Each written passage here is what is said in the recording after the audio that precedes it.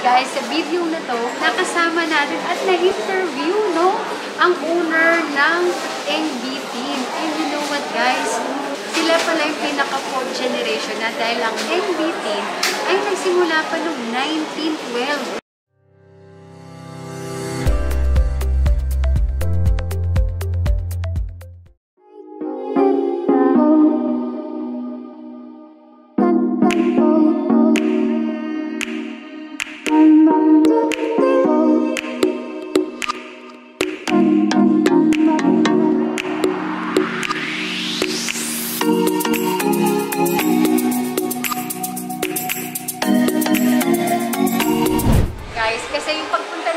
Sakto na nandito ang owner ng NB Tin.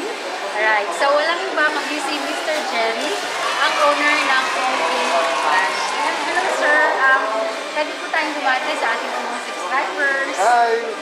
Welcome to Binondo, Kyonghi Chai.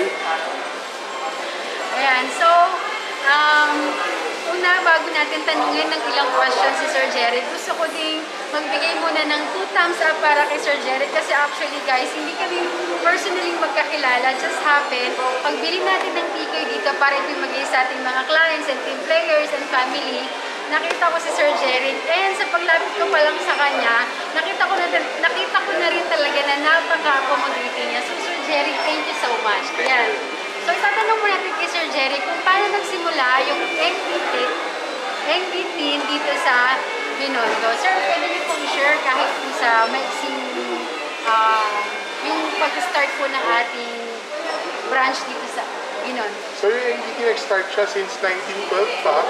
Ah, nag-start siya nung ah, lolo pa ng father ko. No? So, ah, ano na, ah, ako na kami sa tuhod. Wow! And ah, for 109 years na.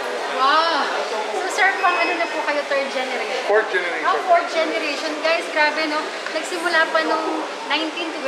Yes. Right? And pang fourth generation na si Sir Jerry. Sir, how's the business before and as of today? Okay naman, no? Ah, Siyempre, ngayon nagkaroon ng pandemic, meron din tayo siyempre yung mga changes na ginagawa sa business natin. For example na lang, lahat ng mga tao natin would have to wear masks, wear shields. Tapos, ah, ah, from time to time, nag-clean tayo ng all high contact surfaces. Ah, lahat ng customers naman natin would have to pass the temperature check, tsaka kailangan lahat naka-face shield nila. So, ayan. So, talagang marami rin naging adjustment. Pero alam mo, sa nakikita ko, ang NBT ay hindi rin nahirapan mag-adjust, sir. Kasi parang tuloy-tuloy ang business kahit meron tayong pandemic.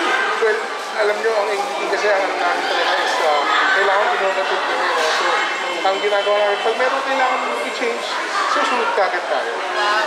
Sir, nagtanong po sa akin kanina during our talk, lahat po ng mga products natin is locally made. Yes. Tama po. So marami rin po kayong mga Filipino na natutulungan dun po sa ating production or sa manufacturing. Uh, 100% po ng uh, products ng is uh, locally made in the Philippines. And uh, lahat po yan gawa, gawa ng Pinoy. Sir, last question na lang po. No? Ano po yung mga challenges ng family niyo to the first generation to fourth generation na pwede niyo pong i-share sa kanila at paano niyo po na-surpass? Well, ang NBT na since 1912 pa kami, so ang daming naging changes, no? Actually, mula nung uh, sa time na hinandle ng father ko yung business? Ah, yung time na hinandle yung business, actually lubog na lubog na NBT sa utang ng time. Wow. Kopya manufacturer na nagkaroon ng jingle. Yung kopyang di mabili, may amag sa tabi. Sabi yun. Kasi ganun ka, ganun ka, uh, ganun ka hindi mabenta yung kopya namin. Hanggang sa yun nga, nag-innovate yung father ko.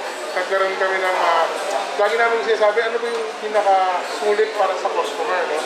So, uh, dun, dun nakilala ang NGT, nagkaroon kami ng kopyang cake, yung yung uh, kopya natin, manipis yung balat, Yes, tapos yes. makapal yung palaman, hindi ka tulad niya sa ito. Yes, tama. Sir, um, last question natin, ilang branch na po ang meron ng NBT?